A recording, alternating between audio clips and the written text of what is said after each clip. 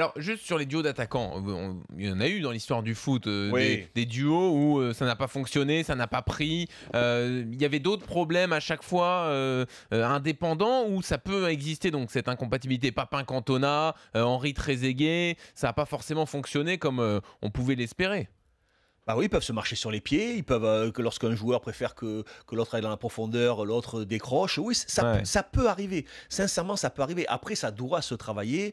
Euh, voilà, c'est pas, c'est pas inscrit dans le marbre, comme tu l'as dit tout à l'heure. Il faut le travailler. Maintenant, au bout d'un moment, si ça ne marche pas, si ça ne fonctionne pas, euh, il y a des joueurs qui, sont, qui peuvent être complémentaires. Et comme tu l'as dit, Griezmann, Ouais. il peut être complémentaire de tout le monde. Ouais. Ça, c'est sûr. Ça, c'est sûr. Alors, Marvin nous rejoint au 32-16, supporter Ouais. de Lyon. Et Ronaldo Bale aussi. Ronaldo Bale, ça a été compliqué. Benzema, on savait pas trop. Mais après, ils ont su faire face. Ouais. Tu, sais, mais tu sais, moi, je pars de l'idée. Excuse-moi, après, on va, on va prendre. Marvin. Mais avec les grands joueurs, t'as jamais de problème. Tu n'as jamais de problème d'ego. C'est toujours avec ceux qui Avec se les très, prennent les très grands, qui quoi. se prennent pour des grands joueurs. Mais t'as jamais de problème avec les grands joueurs. Ouais. T'as jamais, même si on des égaux, Ronaldo, tout ça, il a vite compris qu'il avait besoin de Benzema s'il voulait marquer autant de buts.